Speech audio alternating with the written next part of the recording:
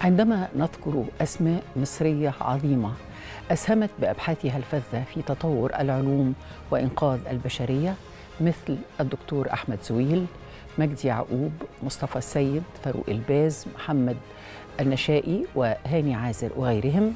عندما نذكر هؤلاء العلماء الكبار ونعدد إنجازاتهم فإننا نقول إن العقل المصري بخير. ونثق بأن جينات العبقرية المصرية التي صنعت حضارة الماضي قادرة أيضا بأجيالها الجديدة من العلماء على صناعة المستقبل. اليوم نفتح واحدا من أهم ملفات هذه الصناعة وهو مستقبل البحث العلمي في مصر.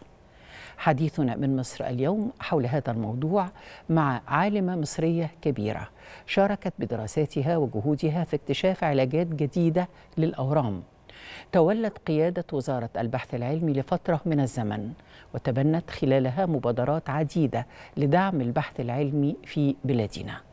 نسألها عن واقع ومستقبل البحث العلمي في مصر وعن موقعنا على خريطة ما يجري في العالم من تطور هائل في هذا المجال.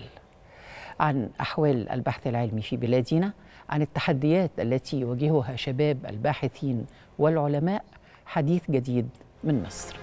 أهلا بكم.